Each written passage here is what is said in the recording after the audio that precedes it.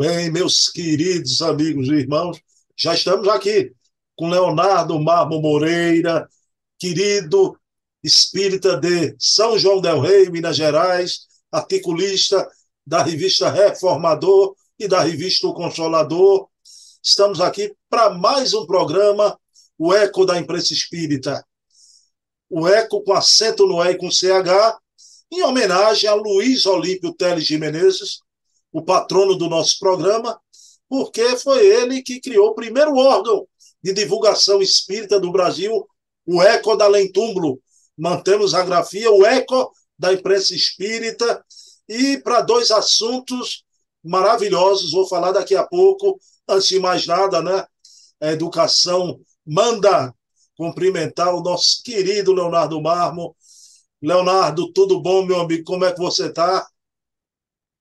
Tudo bem, tudo bem, Bruno. Muito, muito contente mais uma vez de estar na sua presença, desejando a você um pronto restabelecimento. Sei que você já está melhor, mas que você tenha uma recuperação 100% da sua condição física e que tenha condições de desenvolver esse trabalho que é muito importante para o movimento espírita nacional e internacional, porque o material que você produz é uma referência nos diversos canais, com companheiros é, de alto gabarito, em temas diferenciados. Então, nós agradecemos e pedimos a Deus que abençoe muito você e a sua família. Então, a gente roga a Deus que você tenha uma recuperação de saúde o mais breve possível, o mais completa possível, Bruno, porque a gente acompanha e é grato por, pelo seu esforço em prol da doutrina espírita.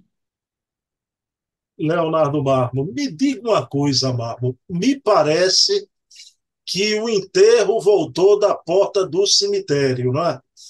Leonardo Marmo, o Cruzeiro Esporte Clube estava quase rebaixado à segunda divisão, começou de repente a ganhar, empatar, somar os pontinhos. Parece que vai escapar, viu, Marmo?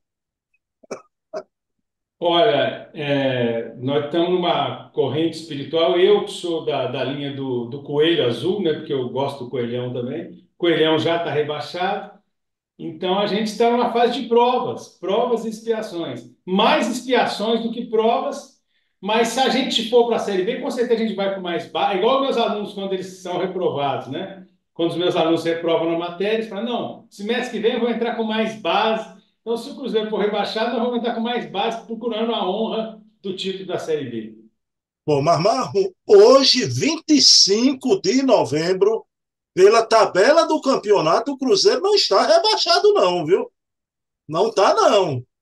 Então seja um é. pouquinho mais otimista, né? Eu achei que teve alguns resultados aí complicados. O próprio empate com o Vasco, eu estava mais otimista com esse jogo, não sei, né? Eu não sei, não. A vitória contra o Fortaleza foi inesperada também, né? É, é, é verdade, é verdade. Esperava, né? Então, mas, Marmo, vamos ao nosso métier. Né? Aquilo que a gente, eu não posso nem dizer que a gente faz bem, que a gente tenta fazer bem, né? Vamos lá. Marmo, sempre o, o nosso programa faz assim, não é? Dois conteúdos por noite, né? Então, esse é o modelo usual do nosso programa.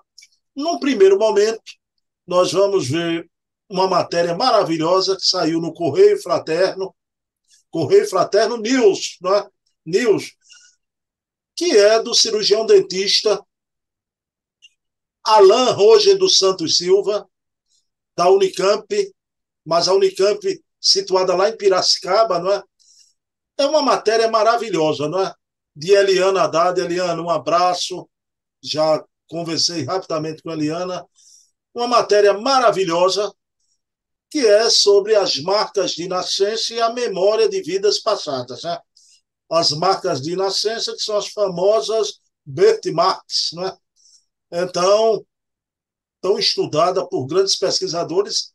A gente vai ver alguns aqui hoje. Né?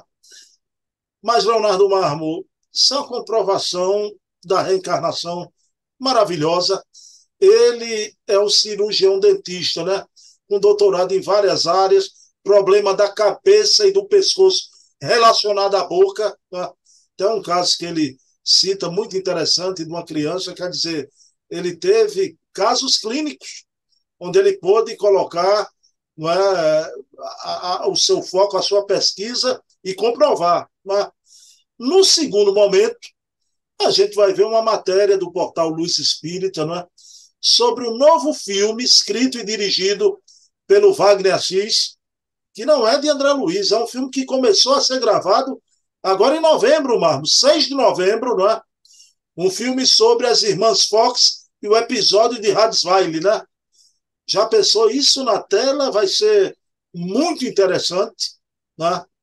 E daqui a pouco a gente vai ver como está sendo gravado, quem vai interpretar as meninas, aonde o, o filme, não é, as imagens, as cenas, dois países, é, atrizes americanas, a gente vai ver isso daqui a pouco. Mas, Marmo, a gente sempre, o, o Marmo tem a primazia. Eu pergunto, Marmo, tu quer primeiro abordar esse ou aquele assunto, né? O Marmo preferiu, e eu estou de acordo também, né? A gente vê aqui as marcas de nascença e a memória de vidas passadas num primeiro momento, né? Então, vou te fazer a pergunta. Esse grande né, estudioso da reencarnação, grande pela seriedade e resultado da sua pesquisa, né? O Alain Roger dos Santos Silva, lá da Unicamp, não só ele, né, junto com outros amigos pesquisadores, mas, Marmo, eu achei muito importante esse fato, porque a gente tem muito essa coisa das lembranças, as comprovações, a nível psicológico. Esse tipo de pesquisa e comprovação retumba mais porque é uma comprovação a nível material, meu querido Leonardo. Corpo físico, não é? Você pensa assim, o que você achou da matéria, Leonardo Marco? Excelente, eu achei a matéria excelente, porque divulga um trabalho de relevância através de um órgão da imprensa espírita bastante conhecido, que tem um público cativo, como é o, Correio Fraterno, e permite que isso chegue a muitos rincões, a um público bastante substancial do movimento espírita e de simpatizantes. Então, às vezes o camarada está fazendo um trabalho de grande relevância, mas não chega em alguns nichos, essa informação não chega em alguns nichos, então é, realmente o Correio Fraterno e a nossa confreira, Eliana, faz muito bem de fazer essa divulgação e vai os nossos parabéns a todos os envolvidos nessa divulgação, porque realmente é importante chamar atenção para espíritas e espiritualistas desse tipo de pesquisa. E por quê? Por alguns pontos que você já levantou aí, Bruno. Primeiro, primeiro tópico. A marca de nascença é algo físico, concreto, que dá um, um significado todo especial à lembrança. E dribla, e, e, e supera, e transpõe muitas das críticas e das objeções que alguns estudiosos, alguns negativistas, impõem à questão da lembrança de vidas passadas. Então, são lembranças muito específicas, muito concretas, que estão associadas muitas vezes a momentos traumáticos e muitas vezes a momentos traumáticos associados à hora da morte da pessoa da encarnação anterior, da própria pessoa na encarnação anterior, do espírito na encarnação anterior.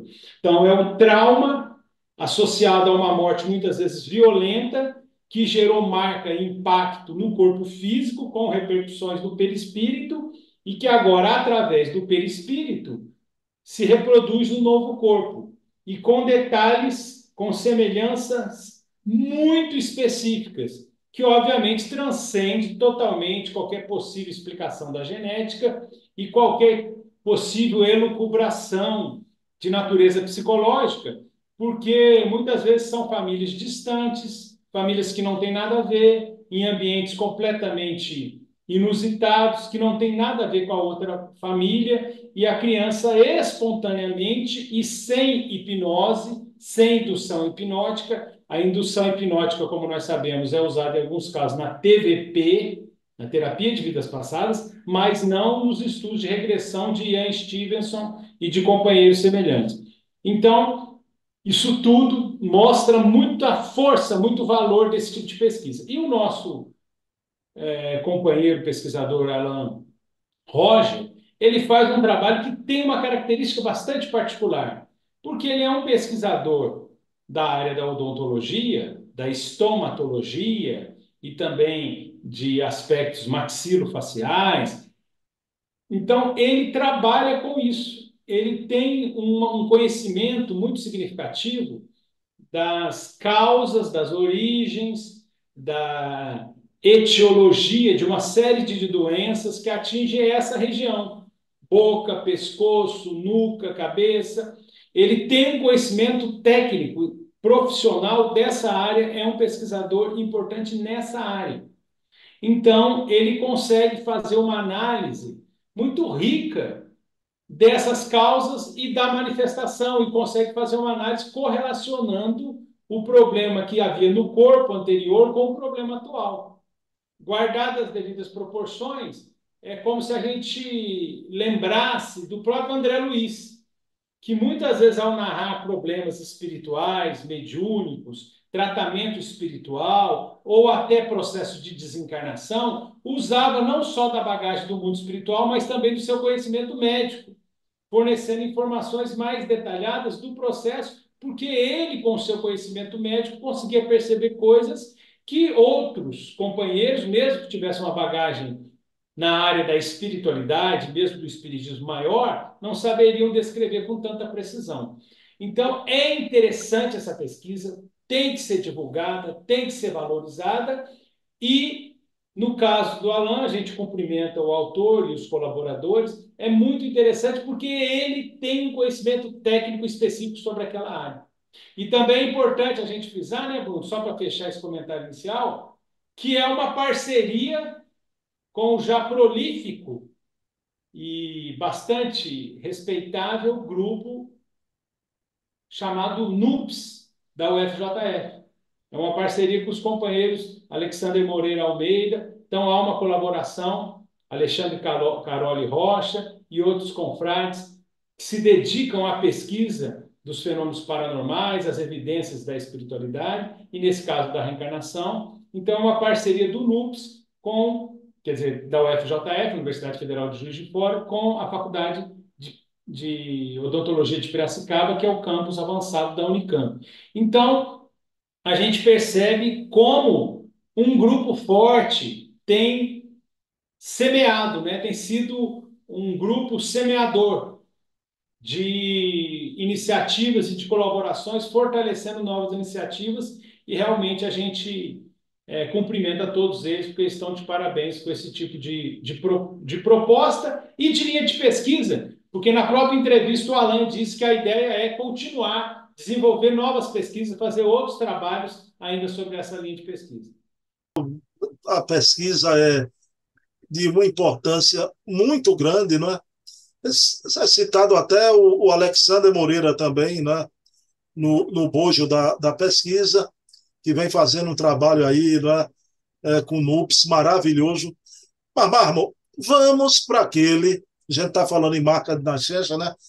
Que foi o maior estudioso da, da reencarnação do mundo, né? O professor Ian Stevenson, que lançou essa obra aqui. Conhece essa obra, Marco? Está aqui, está aqui. Você vai catucar onça com vara curta, pronto, né?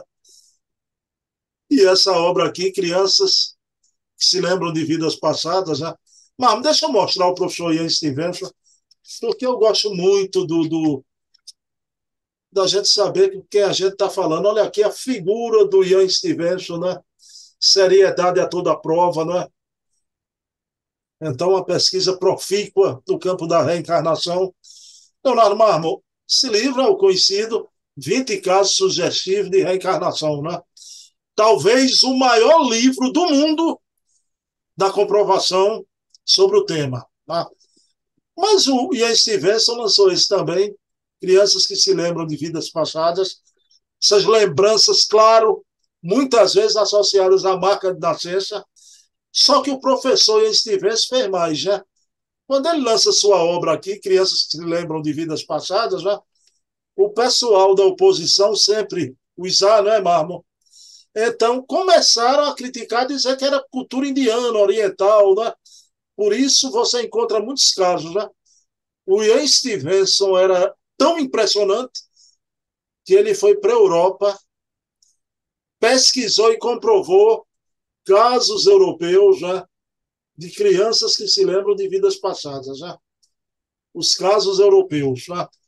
Mas, Marmo, quando Ian Stevens começa o seu trabalho, né, houve uma resistência muito grande, uma resistência de dois gumes, né? do lado materialista, cientificista, e do lado espiritualista, religiosista. O trabalho dele é impressionante porque ele enfrentou o preconceito duplo, não é, Marmo? Foi isso mesmo? Pois sim, e às vezes é difícil saber qual foi o maior preconceito que ele enfrentou.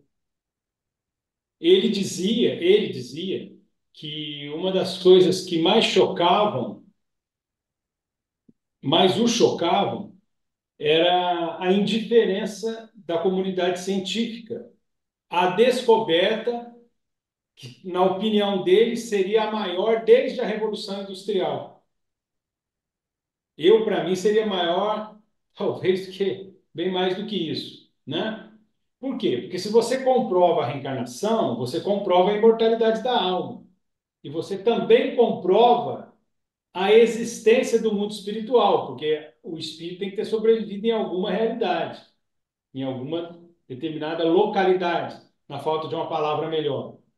Então, você comprova a imortalidade da alma, você comprova o mundo espiritual e indiretamente você vai comprovar, ou pelo menos vai ter indício da lei de progresso.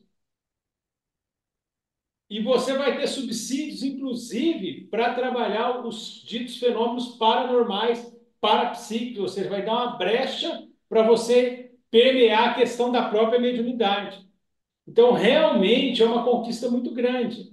Só que a área da pesquisa ela é, muito, ela é muito fechada e muitas vezes os pesquisadores que se dedicam a uma linha de pesquisa, eles não se aventuram a outras linhas de pesquisa porque ele consegue um renome dentro de uma determinada área.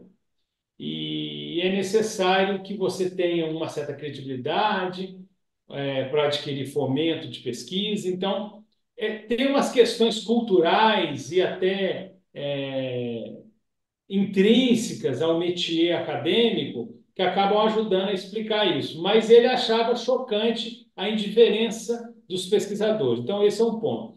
Mas eu percebo também que a resistência dos religiosos muitas vezes é mais virulenta. O que é paradoxal. Kardec também enfrentou isso. Kardec diz que o Espiritismo não veio combater religião alguma, mas apoiá-las, porque fortalecia as bases fundamentais sobre as quais a grande maioria delas está assentada ou estão assentadas.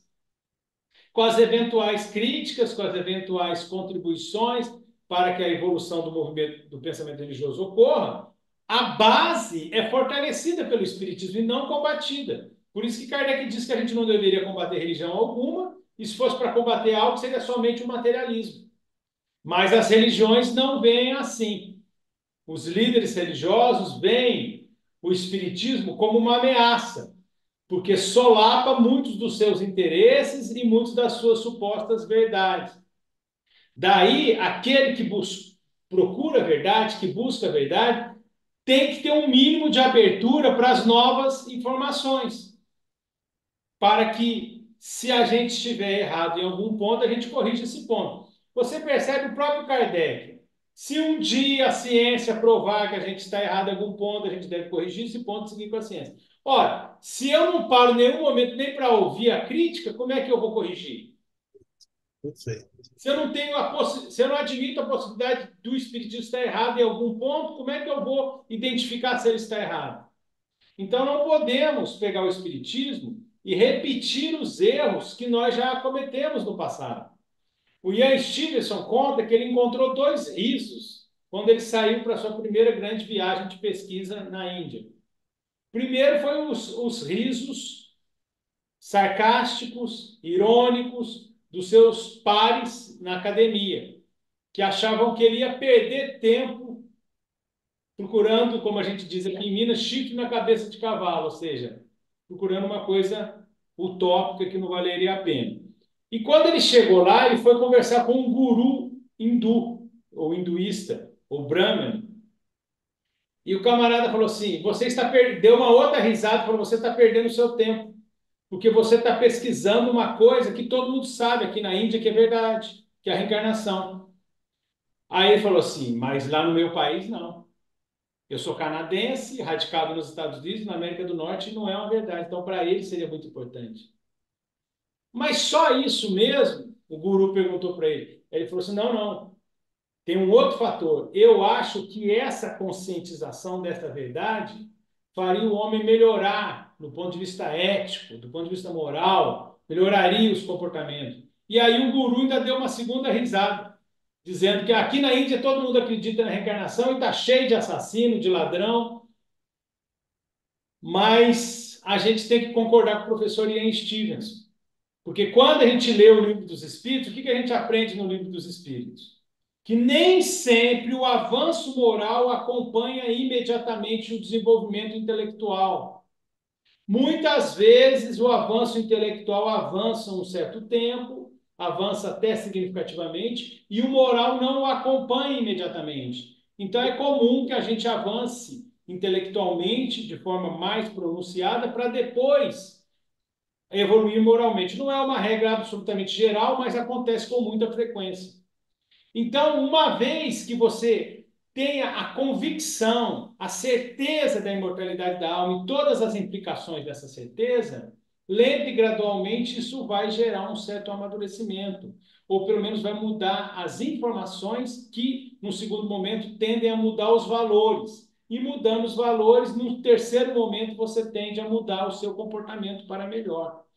Então, o professor Ian Stevenson, à luz do pensamento kardeciano, estava coberto de razão.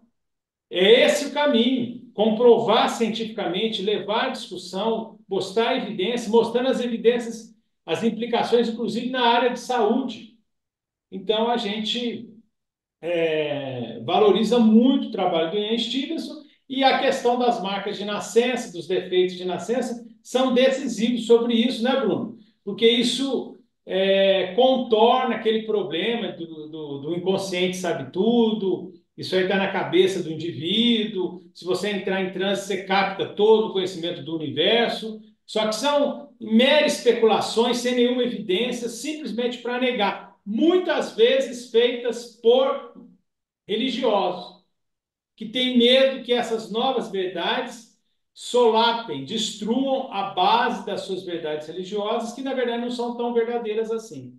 Como a doutrina espírita ama mais a verdade do que o rótulo espírita, se em algum momento a gente tiver errado em algum ponto, a gente corrige esse ponto e segue com a ciência. Essa é a proposta de Kardec. Então a gente não fica tão preocupado se alguém vai mostrar que a gente está errado em algum ponto, né? Não é isso, Bruno? É assim que a gente conhece a verdade para que a verdade nos liberte. Mas aí, Marco, eu quero trazer para a gente, para a gente, movimento espírita, não é?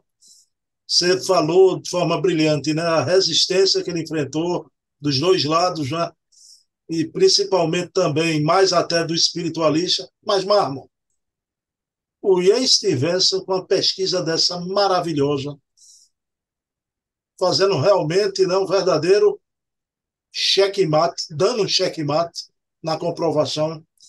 Meu amigo, há uma dissonância do que a gente vê ser propalado na casa espírita para uma pesquisa como essa do Ian Stevenson? É, é, essa é uma boa questão, essa é uma questão interessante. Em primeiro lugar, o Ian Stevenson ele não tinha uma formação doutrinária, ele não era espírita, e nem leu o livro dos espíritos, ou não tinha é, pré-requisitos conceituais. Então, digamos que quando ele foi fazer a pesquisa, ele foi como se fosse Allan Kardec no início, sem nenhuma ideia inicial. Então, ele baseava na evidência, procurando evidência para saber se ela era real, e depois ia levantando hipóteses para discutir essa evidência. E muitas vezes, algumas hipóteses dele, quando a gente lê no primeiro momento, a gente fica até um pouco assustado, mas é porque ele não é espírita. Por exemplo, ele não tem a informação de que a ligação do espírito, a informação doutrinária que nós temos, de que a ligação do espírito se dá no momento da concepção. Perfeito, perfeito. Da união da célula ovo com o zigoto. Então, há casos, pelo menos no início, que ele discutiu a possibilidade do espírito ter chegado meio que no meio da gestação. E isso a gente vê espiritualistas falando, porque não são espíritas. Não são espíritas. Se tivesse a base espírita, não admitiriam isso, porque Allan Kardec foi muito enfático nessa questão e as obras subsidiárias confirmam as bases da codificação, mostrando que a ligação definitiva entre o espírito e o corpo se dá no momento da concepção. Então, mas o Stevenson estava pesquisando e não era espírita, estava analisando o fato, não é? Então a gente tem que ter isso em mente. Mas também eu já vi algumas análises críticas no estudo comparativo dizendo que não tem nada a ver o pensamento do Stevenson com o pensamento espírita por causa de algumas discussões de alguns expositores. Isso não é bem verdade. A gente precisaria estudar com um pouquinho mais de profundidade o texto do Stevenson e o texto espírita também. Eu vou dar um exemplo, Bruno, de um estudioso espiritualista conhecido que levantou uma crítica mostrando que Stevenson estava em oposição às bases kardecianas, ou pelo menos a discussão que os expositores espíritas, que muitos expositores espíritas fazem na casa espírita. Então, muitos palestrantes, e isso é verdade, o que não quer dizer que esses palestrantes são os mais bem informados representantes do movimento espírita, mas isso que esse, esse companheiro espiritualista fala é verdade. Muitos companheiros dizem o seguinte: se você der um tiro em alguém, pá! Se você atirar no coração de alguém, na próxima encarnação você vai vir, você pode vir com um problema no coração. Não quer dizer que você vai ter um problema no coração, mas você pode reencarnar com uma patologia, ou com uma predisposição, ou com uma má formação do seu coração. Esse crítico espiritualista dizia o seguinte: isso não tem base nenhuma em Stevenson, está em oposição a Stevenson. Por quê? Porque nos casos do Ian Stevenson, ocorre justamente o contrário, diz ele, na visão dele desse, desse crítico espiritualista.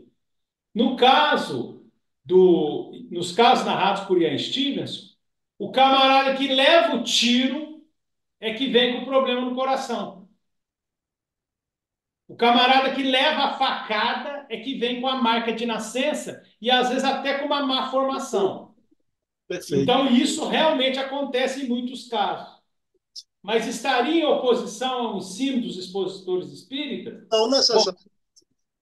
É, não necessariamente, exatamente. Aí a gente precisa aprofundar um pouquinho. Primeiro, a gente teria que analisar expositor e expositor, porque todos nós podemos falhar na nossa interpretação, e há palestras e palestras, a gente teria que avaliar de quem ele está falando especificamente. Mas vamos tentar esclarecer um pouquinho mais essa situação. Olha só, quando a pessoa tomou o tiro, por que, que muitas vezes ela reencarna com a marca do tiro, podendo até ter um problema no coração? Porque normalmente as pessoas que se lembravam de encarnações passadas, para se lembrarem, elas tiveram um intervalo muito curto entre as encarnações. Esse ponto é chave. A grande maioria, a esmagadora maioria das crianças que se lembravam espontaneamente de encarnações passadas, se lembravam no intervalo de. Se lembravam quando eram crianças que tinham 3, 4, 5, 6, 7 anos no máximo. E o intervalo entre as encarnações era um intervalo de 5, eram intervalos de 5, de 6, de 7, de 10, de 15 anos no máximo, estourando. Eram intervalos curtos entre as encarnações. Porque quando o intervalo entre, entre as encarnações vai, é muito longo, a criança já não lembra da encarnação passada. Mnemonicamente, ela tem mais dificuldade. O que favorece a lembrança é o trauma da vivência, principalmente quando gerou a morte, e o intervalo muito curto entre as encarnações. Então, a criança que se lembra, normalmente já tem um intervalo de encarnação muito curto.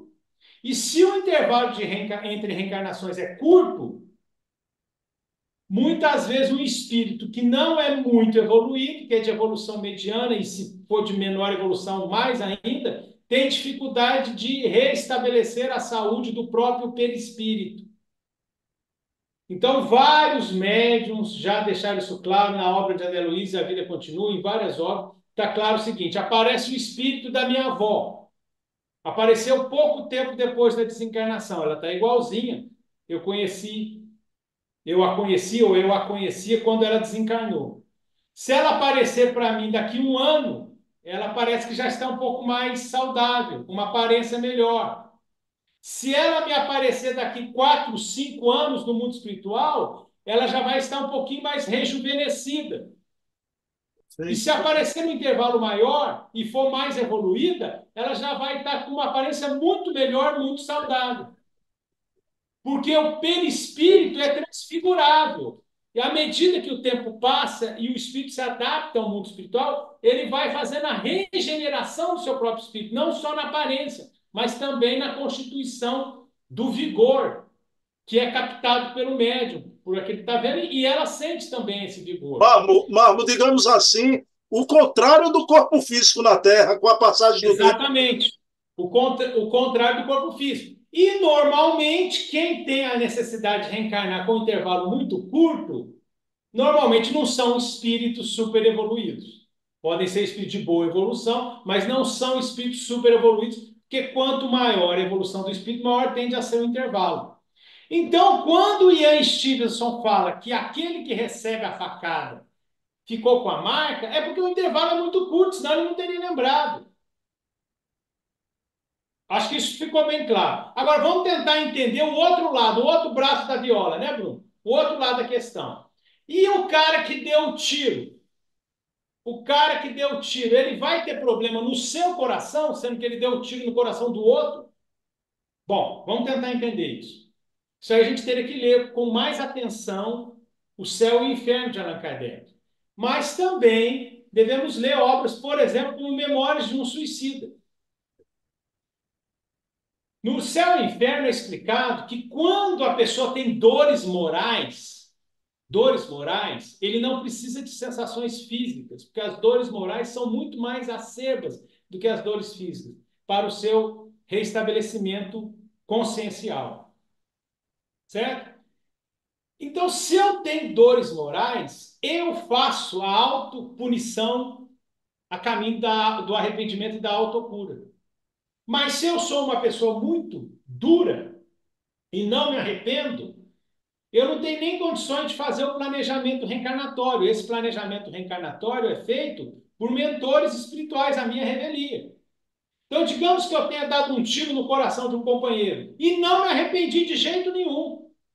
E estou no umbral, no, umbral, no baixo umbral, em região de sofrimento, fazendo coisas horríveis. E por acréscimo de misericórdia, meus mentores espirituais, alguns amigos, intercedem por mim para que eu reencarne. Esses mentores vão decidir a minha programação reencarnatória sem eu saber, porque eu não tenho condição nem de ser socorrido. Eu tenho que ir direto para a reencarnação. Foi o caso do pai de André Luiz. Então, é possível que, a, em proveito de mim mesmo, alguns mentores decidam que eu tenha que ter um problema no coração. Porque inconscientemente eu vou começar a perceber que foi o efeito da causa. Mas isso não fui eu que criei, porque eu nem me arrependi. Foram os mentores trabalhando no novo corpo com deficiências que eu estou precisando para eu desenvolver as aptidões espirituais. É um caso. Agora, há casos em que os mentores não precisam fazer isso, porque eu já estou fazendo comigo mesmo pela culpa e pelo arrependimento. Vou citar um exemplo clássico. No livro Memórias de um Suicida, depois que eles eram socorridos no hospital da Legião do Servo de Maria, havia uma separação daqueles que estavam após a primeira recepção, aqueles que estavam mais enlouquecidos, mais revoltados, mais rebeldes, que queriam reencarnação, que não aceitavam ajuda, eram encaminhados para o isolamento para uma reencarnação mais rápida. Estou falando mais, de forma mais simplificada. E aqueles que estavam melhores tinham um curso mais prolongado que Camilo Castelo Branco até chamou de universidade, na universidade. Um dos casos era um camarada que estava rebelde, que, ia, que foi para o isolamento, e foi um dos que pediu uma reencarnação mais rápida possível, porque ele era rebelde e se chocou com a situação dele e dos familiares, inclusive. E como é que ele morreu? Ele morreu após matar a esposa. Então ele era homicida e suicida. Ele tinha matado a esposa enforcando-a com as próprias mãos. E depois ele se matou. Ele enforcou a esposa e se matou. E aquela cena, Bruno, se repetia como um filme na cabeça dele sem parar. E ele estava enlouquecendo. Isso aí e se ele... chama, ô, ô Marmo, recapitulação mnemônica. Se lembra o suicida do trem de Divaldo? Exatamente. Na obra Os Mensageiros de André Luiz também, as múmias que dormiam lá em Campo da Paz reviviam Exato. as cenas dos seus crimes, dos seus traumas. Boa intervenção, exatamente. Esse é um fenômeno que acontece muitas vezes, o trauma e a culpa fazendo a pessoa reviver a cena. E ele revivia. Ele enforcando o pescoço da sua esposa e o, depois o seu próprio suicídio. Revivia sem parar. Aquilo gerou uma culpa, uma culpa tão grande que quando ele foi para reencarnar, os amigos que não estavam no isolamento e que não iam reencarnar naquele momento, entre eles Camilo Castelo Branco, foram se despedir dele. Estavam indo para a reencarnação. E aí ficaram chocados ao notar que na hora que ele foi fazer um tchauzinho, ele estava maneta em relação às mãos perispirituais, as mãos do perispírito, ele estava sem as duas mãos. Ele estava maneta e foi falar tchau e não tinha as duas mãos. E o perispírito, de certa forma, usando a expressão de Hernando Guimarães Andrade, é um modelo organizador biológico, ele, foi, ele projetaria um corpinho no neném sem as duas mãos. Então, eu costumo dizer que a genética dos pais é o material para construção. É o tijolo, é o cimento, é a tinta. E o perispírito é o projeto arquitetônico, é a planta, é o projeto do engenheiro, do arquiteto, e o perispírito faz esse papel. Então, o perispírito já estava sem as mãos porque a culpa do espírito, da mente espiritual, desarticulou o corpo sutil, que é o perispírito que organizaria. Então, olha só, Bruno. Então, para que eu tenha um problema no meu coração, sendo que eu atirei no coração do meu companheiro, ou eu crio um processo de arrependimento que eu não consegui, pelo alto perdão e pela ação no bem, porque o amor cobra a multidão dos pecados, suprimir, ou eu não consegui, ou os mentores programaram um corpo que tem uma deficiência, para que eu sutilmente, pela dor física, desperte uma maior consciência espiritual. Porque às vezes os espíritos impõem situações porque nós não temos amadurecimento para arrepender. Então a gente lembra de o céu e o inferno de Allan Kardec, o arrependimento, a expiação e a reparação. Perfeito. Mas alguns ficam séculos e milênios sem se arrepender. Perfeito. Então, se nós estudarmos com um pouquinho mais de profundidade, veremos que Stevenson não está tão em oposição a Kardec. Porque se as crianças tivessem ficado mais tempo no mundo espiritual, melhorariam o perispírito e não renasceriam com aquela marca. Perfeito, perfeito, Marlon. Se foram vítimas. Né? Meu amigo, então, fica aqui, a matéria vai estar aqui na, na descrição do vídeo as duas matérias. Mas me ocorre uma pergunta, não é a você, mas essa é uma pergunta breve, tua resposta um pouco mais breve para a gente ir para o segundo momento. Marmo, você vê uma comprovação dessa a nível material, corpo físico, né?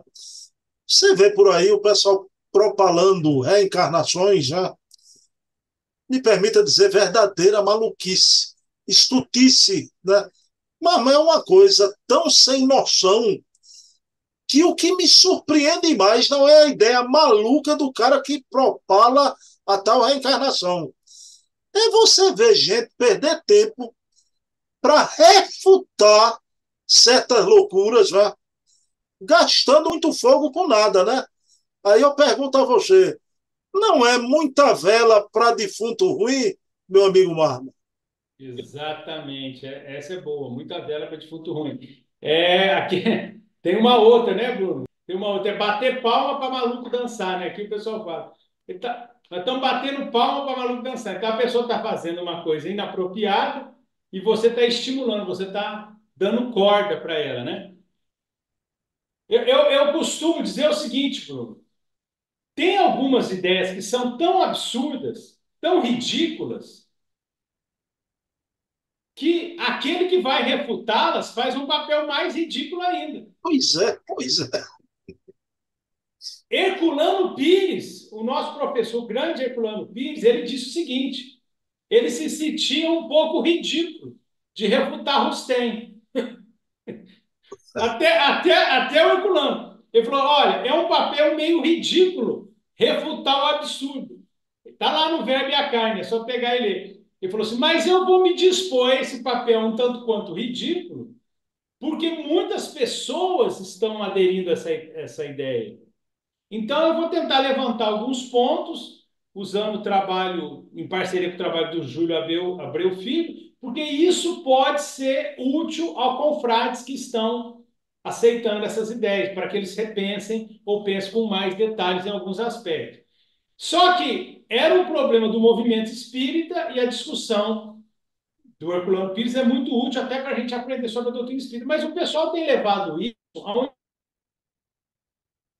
Seria o caso de eu, pergun de eu perguntar para a gente, até de uma forma um, um pouco exagerada, mas só para a gente entender o que, que a gente está discutindo. Se o Henrique Cristo, aquele famoso Henrique Cristo, que agora sumiu um pouco das televisões, se ele fala que é Jesus, ninguém sai escrevendo livros para refutar que ele não é Jesus. A não ser o padre Quevedo, que foi lá no Ratinho e e fez aquela cena, até circense, aqueles debates horrorosos, né, ridículos e tal, que é mais para o povo rir, é que programas humorísticos quase. Então, quer dizer, porque ninguém está levando a sério. Então, você vai refutar o Henrique Cristo dizer, dizer que é Jesus? Você vai escrever um livro sério sobre isso? É necessário? Há uma parcela significativa de pessoas sérias que estão se inclinando a essa ideia. Então, fazer ciência espírita não é só desconstruir o errado, mas também construir o certo. E parece que nós nos acostumamos só a querer desconstruir o errado. Porque até certo ponto desconstruir o errado é mais fácil. É mais fácil você refutar uma ideia errada do que publicar uma obra para comprovação de algo verdadeiro. Posso te dizer só, só uma passagem que eu acho significativa, né? Então, daquele espírito obsessor, quando foram excomungá-lo no Evangelho, ele disse assim: eu conheço Jesus, sei muito bem quem é Paulo, mas vós quem sois? Porque, como você falou, Herculano é Herculano, não é? Mas quem é quem para estar tá desconstruindo? Não constrói nada, mas é só refutar e desconstruir, não é? Cadê as credenciais para isso, às vezes, né, Marco? É, muitas vezes nós tentamos fazer algo no estilo que o professor Fulano Pires fazia, mas sem a mesma categoria, né? sem a mesma condição. Só que nós não podemos ficar só nisso, né, Bruno? Sim. O Espiritismo não é só desconstruir o errado, combater as ideias erradas, mas também ajudar a construir as evidências sólidas, os avanços conceituais e as ideias, as evidências de imortalidade da alma que vão iluminar e consolar aqueles que não têm acesso a isso. Não só para comprovar, mas também para trazer mecanismos de cura espiritual, de ajuda em cirurgias espirituais, de ajuda no ensinar a viver. Então, tem muitas tarefas maravilhosas que o pensamento espírita nos abre e que nem sempre a gente consegue valorizar. Quando a gente vai falar que o espiritismo não é religião, aquela velha discussão, ele não é. Muitos falam assim, ah, não é religião no sentido convencional por causa da ritualística do sacerdócio organizado. Sim, essa é uma parte importante. Agora, uma coisa importante é o seguinte: normalmente, o que é a religião? Tem um profeta único, ou um ou dois, poucos, pouquíssimos, um ou um grupo mínimo, um profeta e um texto sagrado. Isso é religião. Um profeta, um ou dois ou três no máximo, e um texto sagrado, ou dois textos sagrados. Isso, isso é o que faz. Não é só ritualística, não é só sacerdócio organizado, não é só sacerdócio profissional. Sim. Texto sagrado e profeta. Muita gente quer estudar Allan Kardec considerando que ele é um profeta e a codificação é o texto sagrado. Então a pessoa, sem perceber, inconscientemente já programa isso e não consegue perceber a contribuição de obra subsidiária. Não consegue perceber que Kardec desencarnou em 1869. E nós precisamos também contribuir com o novo, com critério, com base, mas não podemos só estudar o texto que Kardec nos deixou, porque ele não faria isso. E certamente não faz. Porque quando desencarnarmos, no mundo espiritual também se escreve livros, Bruno. Tem gente que não sabe disso. No mundo espiritual existem autores que escrevem livros.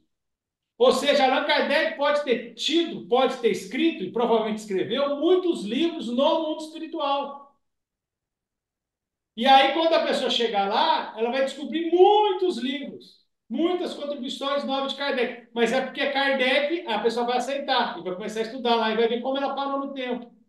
Só que alguns vão ficar surpresos quando notar que, de repente, o nome Allan Kardec foi usado, não foi usado por ele, em obras mediúnicas, espíritos, que ele pode ter ajudado em algumas mensagens.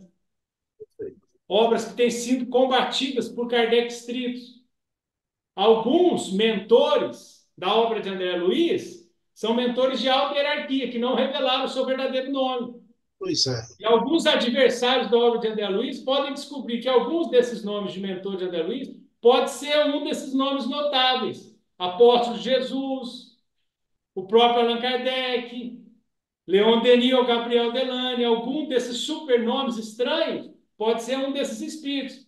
E a pessoa combateu porque estava defendendo Allan Kardec. Então, fica a reflexão para todo mundo aí.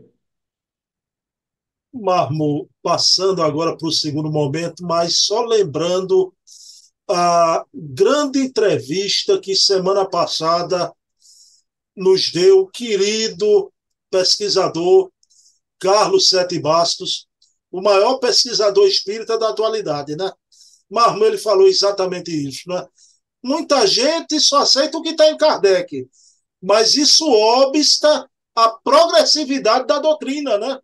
Carlos Sete foi muito feliz quando disse isso, mas me lembrando que Kardec, o livro dos espíritos, o livro dos médios, o Evangelho segundo o Espiritismo, só Inferno e a Gênesis, Kardec recebeu esses ensinamentos através de médiums. O pessoal aqui no Brasil não aceita nada que venha pela mediunidade, né? Então. E o próprio, o próprio trabalho do Carlos F. Bass mostrou que o Dambel, que era médium de Erasto, rompeu com Kardec. Kardec nunca mais recebeu mensagem de Erasto. Pois é. Não achou o médium. E ele rompeu, brigou, criou o Lavenir e depois se suicidou. A senhora Costel, médium de importantes mensagens, rompeu com Kardec e foi lá publicar na, na, na, na revista do Dambel. E o próprio trabalho do Espírito so, sobre investigação do, do Carlos Santo Basco desmitifica e desmistifica as duas coisas, muito do que se acreditava, como que as, a, as meninas Bodan eram muito novas, uma série de situações em que ele mostrou que a história não era bem assim, com muita evidência, com muita solidez na sua argumentação. Então a gente precisa aprender a estudar e não igrejificar, no sentido de injeção um conteúdo de texto escrito, porque a gente não está tendo acesso a novas informações, até porque a nossa mediunidade não está sendo tão bem conduzida. Mas fica isso aí para uma outra, uma outra oportunidade, né, Bruno? Marmo, eu sabia não é, que o tempo, em grande parte do, nosso programa hoje, ia ser para o assunto das marcas da ciência, né? Mas a gente tem que reservar um tempinho, mesmo que seja um tempo menor. Para o segundo momento, a descrição das duas matérias estão aqui. Marmo, 6 de novembro, começou as filmagens né, do filme As Irmãs Fox, o episódio de Radisville, escrito e dirigido por Wagner Assis. Filme está sendo gravado as tomadas aqui no Brasil, nos casarões do Rio de Janeiro, e nos Estados Unidos, nas fazendas americanas, né? E o filme é estrelado as irmãs Fox, Kate, Margarete e, e, e Lea. Né? São três atrizes americanas, né? Então, Marmo, Wagner já vem aí com os mensageiros, né? E já está se debruçando. Eu estou com impressão que é a certeza que a gente tem, né, Marmo? Não é só uma impressão.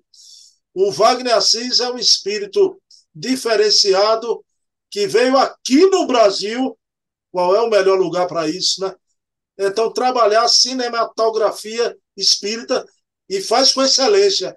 Como é que você vê essa notícia auspiciosa de mais um filme, um filme histórico, que se aprofunda na história do Espiritismo? É, nós estamos com uma revolução do cinema, né, Bruno? Os streaming e tudo mais, mas também uma revivescência das salas de cinema pós-pandemia, que tiveram um abalo muito forte, e isso até, acho que influenciou até o adiamento da estreia do Nosso Lar 2, Os Mensageiros, do Wagner, que seria em agosto, e agora vai ser logo mais em janeiro, mas é um mês bom para uma estreia. Então a gente fica muito feliz. Nosso Lar 2, Os Mensageiros, vem aí, e a história das Irmãs Fox é uma história muito interessante, muito rica, e a produção parece que tem sido muito cuidadosa, porque, como você mesmo colocou, as internas, né, as cenas internas dos casarões feitos no Rio e as cenas externas dos Estados Unidos com atrizes que são americanas, né? então isso aí, a própria linguagem, o inglês nativo favorece, de repente, a penetração do, do filme nos, no mercado norte-americano, porque essa, essa semente tem que espalhar. E os filmes podem ser uma ferramenta fantástica disso o pessoal tem percebido que há público, então mercadologicamente é viável. E é o público não só espírita, o público espiritualista. Há um público no Brasil e fora do Brasil. Então isso desperta o um interesse, entretém, conta a história do espiritismo, mas desperta novas pessoas para buscar esse conhecimento, desperta a curiosidade e chama a atenção sobre o tema. Então, eu acho super válido.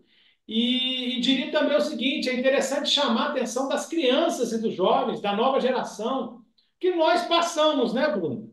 É inevitável que a gente passe, mas precisamos despertar novos companheiros que continuem os trabalhos, os estudos dessas casas espíritas que foram, foram construídas e, e abram novas casas. O movimento só está começando. Então, o cinema é uma ferramenta muito interessante e a gente cumprimenta o companheiro Wagner Assis, que já é responsável por esse grande sucesso que foi o nosso lar, o maior recorde de bilheteria. Desejamos e vamos tentar ajudar, né? Aqui em casa a gente vai levar todo mundo no cinema para que ajude na bilheteria, para que os números sejam legais. Vamos ajudar no cinema e, obviamente, depois vamos assistir no streaming. E vamos fazer um esforço mínimo para contribuir direto ou indiretamente para que a mensagem chegue às pessoas que precisam desse mecanismo. É um recurso didático para iniciantes, mas também para estudiosos, porque de, de forma audiovisual, muitos centros espíritas já têm usado da, do cine reflexão. Você, um expositor mostra o filme, vai, vai pausando ou faz uma análise só no final e vai analisando pontos positivos. Aqui ele errou, aqui ele acertou, aqui não é bem assim, isso aqui foi uma adaptação, isso aqui está tá correto. Isso aí, isso aí é um recurso muito interessante para a nossa didática, o nosso aprendizado, o nosso aproveitamento, não só de iniciantes, mas também de pessoas já estudiosas. Mas dos iniciantes, eu acho que tem um papel super importante de chamar atenção para aqueles que não despertar o seu interesse ainda, mas que tem condições de despertar. E nós sabemos que o esquecimento, né, Bruno? O esquecimento das reencarnações passadas e do período da intermissão, através da infância e da juventude, faz com que muita gente fique um tempo obnubilado. Haja vista o próprio exemplo de Saulo de Tarso. Então, para que a gente desperte esses reencarnantes na fase da preparação infanto-juvenil, é interessante essa ferramenta audiovisual. Então, nós desejamos todo o sucesso do mundo para nosso Lar 2 e para o novo projeto das Irmãs Fox, sem dúvida nenhuma, vem enriquecer a nossa cinematografia espírita e espiritualista. Meu amigo Leonardo Marco, esse seu raciocínio aí de que para ajudar o ser reencarnante a despertar suas memórias sobre talvez a crença espírita de outra vida, até através de um filme, é que faz com que minha admiração por você atinja os píncaros, né?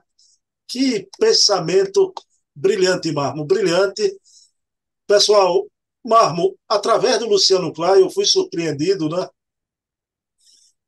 Com duas mensagens que estavam assistindo o programa da gente, né? Claro que por causa do Luciano Clay, o Divaldo Franco assiste os programas de Bezerra e o Raul Teixeira, né? E no programa sobre Hermínio, a querida Eliana Haddad também, não é? Então, eu sei lá, então, como você agradeceu, quero agradecer ao Wagner Assis, não sei se isso vai chegar a ele, a nossa reverência, respeito, admiração. É? Isso é um trabalho que tem caráter, para mim, é um tarefeiro, mas é um trabalho com caráter de missão, descortinar é? o espiritismo aqui no Brasil, né? E, e, da forma que você faz com excelência, né? Meu querido Leonardo Marmo, tu faz a prece final. Vamos lá.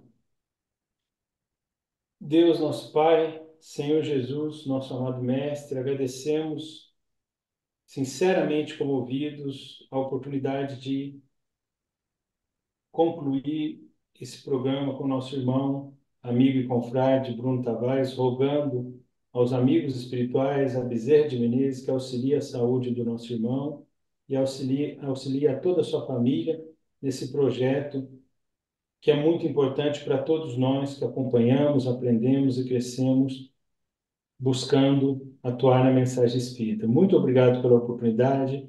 Ajude a todos os irmãos sintonizados conosco e principalmente aqueles que enfrentam nesse momento a prova das enfermidades físicas e espirituais. Se conosco, Pai de amor, hoje e sempre, que assim seja. Bem, mês que vem estaremos aqui, não é? Quero dedicar esse programa a você, minha mãe, que se encontra no plano espiritual. Tive esse período de adoecimento, né? Sei que contei com tua assistência, mamãe. Gratidão. E estamos pronto, recuperado. Mas, Leonardo Marmo, programa mês que vem, em dezembro, né? Eu não vou estar em Recife na última semana de dezembro e na primeira de janeiro, né? Mas eu olhei na folhinha, o nosso programa vai ao ar dia 22 de dezembro. Dá para a gente gravar tranquilo, né, Marmo? Vamos lá, viu? Olha, e daqui para lá, boa sorte ao Cruzeiro. Embora um torcedor fajuto, mequetrefe, que não acredita no próprio time, né? Mas boa sorte para o Cruzeiro, viu? Já sofri muito, já sofri muito. Eu sou, eu sou bastante descrente. Tá bom.